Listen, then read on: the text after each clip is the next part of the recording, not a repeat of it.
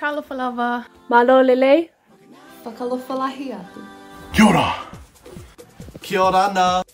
Whakatalofa atu. Moody. And warm greetings to all our South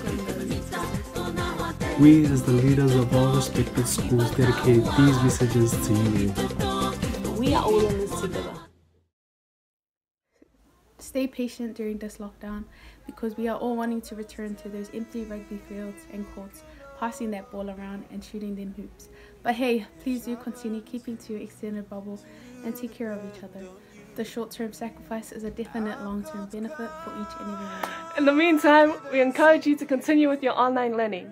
We know it may be hard to focus with all these distractions around us and at our arm's length, but we encourage you to think about your whys and your purpose when it comes to your education, as it will come with the motivation it takes to achieving your goals.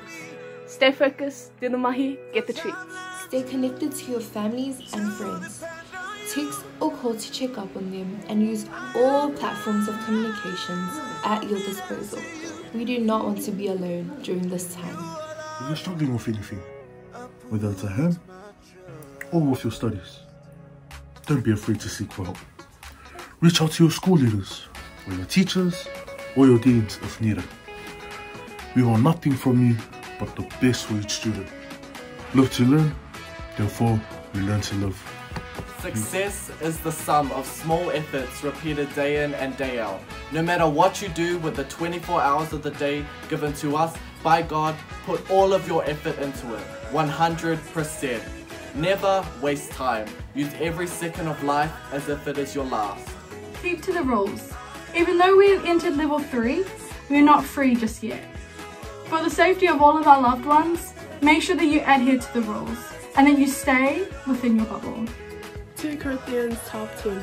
You have done all that you can do, God will step in and do what you can't do. Just remember, He is always present and He will never forsake us in times of need. Times are getting hard, I feel like you cannot carry on. There are a variety of different activities that can inspire you, like meditation or prayer. Never doubt the power of prayer. And as most of us are religiously seated families, we can rest easy knowing that God can light a few these darkness. The brighter days. Being of service to others brings true happiness.